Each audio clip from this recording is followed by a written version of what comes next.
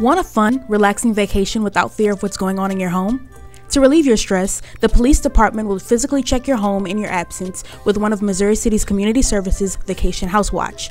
For a minimum of three days, the Missouri City Police Department will protect your home. At this time, we require that no other party be allowed to enter your residence in your absence. For more information, visit MissouriCityTX.gov. Under Quick Links, click on Police House Watch form.